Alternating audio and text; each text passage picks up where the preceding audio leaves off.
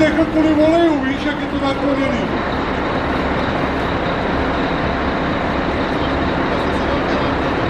Bravo.